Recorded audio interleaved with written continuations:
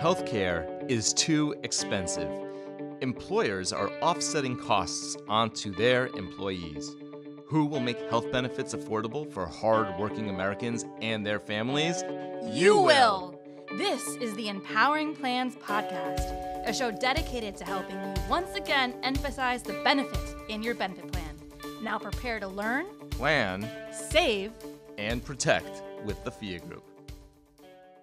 Well, hello, hello, hello. Welcome once again to an Empowering Plans podcast with the Phia Group. You know, I almost said, as always, I am Ron Peck, Chief Legal Officer of the Phia Group. But then I realized 90 plus percent of these podcasts do not include yours truly, which, you know, some may say is a bit of a shame, but I think it's no great loss for most. Where I think that those who are listening in today truly benefit has nothing to do with me. It has to do with today's co-host, Corey Crigger, attorney Corey Crigger. Hey, Corey, how you doing? I'm doing great, Ron. Thank you so much. I'm so happy to hear that because, you know, when you're feeling good, then you do good. And I think for everybody who's taking the time today to listen to this podcast, we owe them that. We owe them not just the good, but the great, our best effort. So without further ado, let's jump into today's topic. We're going to be discussing something that in a couple weeks, and again, I understand that these podcasts are recorded and they're posted online. And so I could be referencing something that's going to happen in the future. And then for you, the listener, this is something that happened already in the past. So I'm just going to say that as of the time of recording this podcast, in a week, we're going to be doing a live webinar about this topic, and we're going to do a much deeper dive. This podcast is only about 15 minutes, whereas the webinar is an hour. We're going to be doing a deeper dive into this topic, but it definitely deserves some extra attention. It's something about which our organization has been receiving multiple questions from all different angles, areas, aspects of the industry. And that topic is cellular and gene therapy or CGT, right? So cell therapy, gene therapy. Wow, you know, this is just one of those topics where it's been brewing for a while and then all of a sudden it just blows up and everybody's talking about it. You know, we saw the same thing when it was time for Obamacare, the same thing with COVID, the same thing with the No Surprises Act, and now we're seeing it with cellular and gene therapy. And I think it's because, and I mentioned in a post online when I was advertising the upcoming webinar, this one, it triggers that internal conflict, I think, for a lot of people in our industry, where on the one hand, we are always happy to see new forms of treatment, new forms of care, that are going to result in better outcomes for patients because ultimately we're in the industry, we're in the business of health benefits. We care about people's well being. That's why we do what we do, right? Otherwise, what's the point? We could save a lot of money by just not paying for anything. That's not what we do.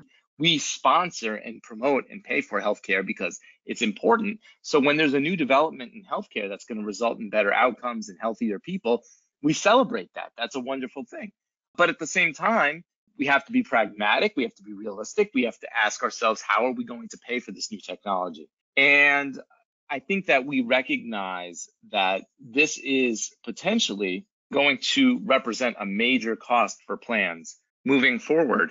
Before we get into the details, Corey, and I turn it over to you for your opening statement, I just want to clarify you know, we throw the terms cell or cellular therapy and gene therapy around. And while there's certainly a lot of similarity, you know, cell therapy, it's where they're transferring actual intact live cells into a patient to cure a disease. Whereas with gene therapy, they're taking genetic material for the treatment and prevention of disease. So very similar. In some instances, they're taking a patient's genetic material, they're shipping it out, they're testing it, they're creating a custom treatment based on that genetic makeup, shipping it back and sticking it back in that patient. And, you know, we saw a lot of that with cell therapy for types of cancer. For those who know my family's history with cancer and my wife's, thank goodness, victorious battle against cancer, certainly we experienced some of that, not for her, but for other patients in the facility where she was treating, even then, the CAR T treatment. So,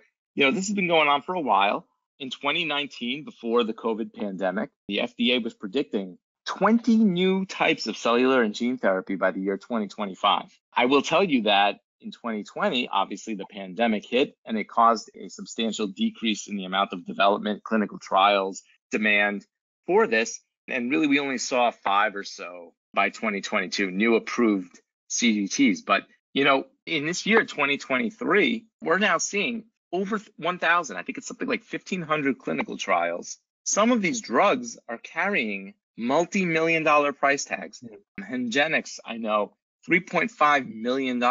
And now there's an estimate for 2025 that there are going to be nearly 100,000 individuals that are eligible for these types of treatments at an anticipated cost of over 20 billion, I think 25 billion dollars. So I'll let that sink in. It's a lot of money. It's a lot to take in. Corey, I know you've been looking into this topic and I know you deal with provider relations. And so your daily struggle is you know, communicating with providers who admittedly are providing valuable healthcare, but also trying to sort of deliver the message of, you know, the reality that if these plans are bankrupt tomorrow, there won't be anyone to pay in the future and, and trying to strike that balance. So this news must really impact you in particular. Share your thoughts as far as this topic is concerned. Yeah, absolutely. And thanks for the great intro. You know, I think much like AI, cell and gene therapy is a buzzword right now, right? Where everyone's just throwing it around and not really everyone's digging down to like what it actually means. I think you can look at this in a couple different ways, Ron. One, you can kind of step back and realize that we're in the middle of a medical breakthrough, which is a fantastic time to be alive, right? Where diseases that have plagued society are now being eradicated because of breakthroughs in modern science, and that is excellent. And then you can look at it from the pragmatic standpoint, as you mentioned, dealing in provider relations. The, the bottom line in provider relations, and kind of, we had a new hire here just a couple weeks ago, and what I told him summed up provider relations was, how do we provide high quality, low cost healthcare to our clients? Everything that we touch in provider relations is about making sure that an objective standard is paid and we're kind of protecting the plan. And you mentioned it, Hemgenix, which is the gene therapy right now that's out for a type of hemophilia, that $3.5 million price tag, it will make plan sponsors and those running these self-funded health plans run for the hills. But I do think there's something important to point out, Ron, that the context around this, it's a $3.5 million payment for the therapy. But absent this therapy, the annual cost to a health plan for someone just treating standardly with hemophilia B is $600,000 a year anyway. So, you know, when I was researching Hemgenix and looking up hemophilia B, there's multiple transfusions that a person with this condition has to go through a year. And they project, like I said, $600,000 a year annually that a plan was going to pay to carry this participant anyway. So, on a long enough timetable, you can look at some of these therapies and say, yeah, it's a big price tag up front, but in the long run, it's good for the plan. And then, Ron, the next logical question is, is okay, in the long run, this is good for the plan. How do I pay that upfront price tag? And I think that's what keeps everyone up at night. But have no fear, there are different ways that I've seen that the market is demanding that three and a half million doesn't mean three and a half million now in a lot of ways. So it is nice to see that these big pharmaceutical companies are willing and they understand that not every self-funded plan is going to be able to pony up three and a half million dollars for gene therapy and there are market solutions that are coming to and different ways to structure your plan either through stop loss or kind of a gene therapy specific pre-service SCA that's based on you know we will pay as the treatment provides the benefit and maybe we're going to spread that three and a half million dollars over two three four years and the payments only due so long as the treatment's effective. So there are solutions out there and there are ways to control the cost for these drugs that are for the betterment of society. You know, Corey, I'm glad you bring up the matter of timing because one of the concerns that has been presented to us, the Phia group, by some of our clients, is this concern that, you know, if I have somebody who has a chronic disease and I'm paying on this sort of protracted, uh, capitated schedule, if that employee, if that plan participant leaves the plan, leaves my employment, goes to work somewhere else, well, now it's somebody else's problem. Whereas if I'm paying three, three point five million dollars up front, and then right after I cut that check, that employee leaves a week later, I've provided this benefit and someone else is reaping sort of the benefit of a happy, healthy employee. And so it's not just a matter of the finances, but also a matter of that cost benefit analysis where I know that I am providing a benefit to an employee who in turn is providing a benefit to me that is an employee and providing that work product that I'm not going to front millions of dollars to treat someone just so that they can leave and go to another employer who in essence benefits off of my dime. So I think that idea or that concept of trying to identify ways to stretch out the payment, it serves multiple beneficial purposes.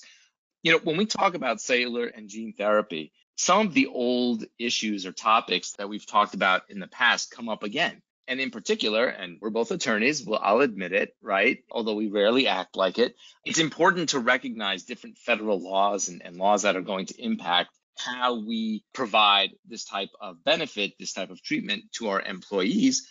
You know, of course, there's ERISA and that obligation to act in the interest of all the participants, to enforce the plan prudently. And so you need to ensure that whatever it is you plan to do as it relates to this type of treatment, to cellular and gene therapy, that the plan document accurately reflects mm. your approach. You don't want to have the plan say one thing and then you do something else. If you're planning to come up with a way to exclude it, again, I'm not going to touch upon the wisdom of that just yet, but if that's your plan, you have to make sure the plan document supports that. If your intent is to cover this type of treatment, you have to make sure the plan document covers that. So, one, having the plan document align with your approach. Another issue or topic that comes up that this is not something we often talk about, Corey, is GINA, which is the Genetic Information Act, right? Where you're not allowed to use genetic information to make coverage decisions or employment decisions. And when we're talking about medication that's highly customized or targeted to this type of thing, that being genetic makeup or genetic material, you know, the question is going to come up whether GINA plays a role. If you're denying or excluding coverage, is somebody going to argue that it's prohibited by GINA? Likewise, HIPAA. The fact that we're not just dealing with somebody's medical condition, but also their genetics that's just more PHI that you have to be aware of, more data that's being transferred back and forth, more protections that have to be put into place.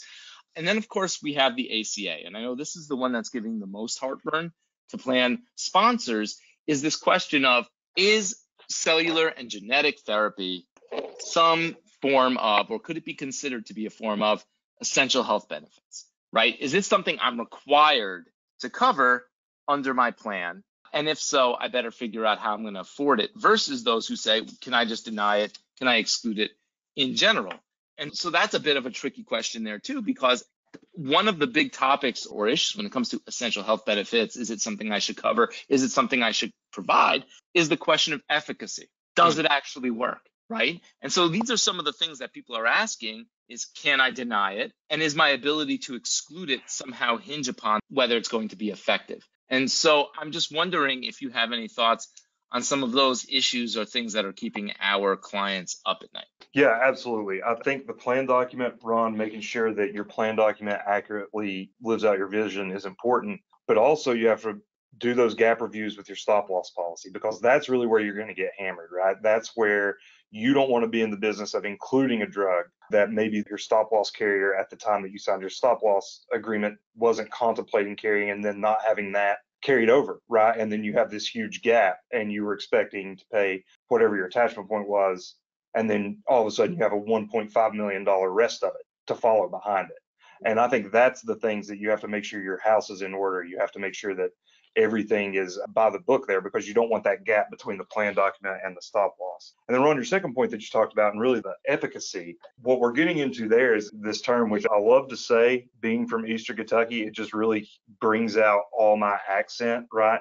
Pharmacogenomics of actually looking at how your body breaks down certain medications and then increasing the efficacy of that. And the example that I read when I was preparing for the podcast this week was kind of near and dear to my heart. Being from Eastern Kentucky, you know, Ron and Phia is very aware of this as, as all of our listeners. Eastern Kentucky and that Appalachian Mountain region is kind of the opioid epidemic epicenter right? Where the pharmaceutical companies came in with these new drugs and they promised that they weren't addictive and that they were perfect for coal miners. And it's called oxycodone. And it's non-addictive and you don't have to worry about that right? And we all know how that story unfolded. But the way that this pharmacogenomics works where you're looking at how bodies process the same medicine differently the, the example i looked up was there's an enzyme that's produced in everyone's liver that has a very very long name. That is the enzyme that converts the codeine part of these opioids to morphine which causes them to be effective as a painkiller and what we have learned over the course of the years is that that enzyme is not produced the same from person A to person B to person C, but yet medications are all given out in what doses? Five milligrams, 10 milligrams, 20 milligrams, right?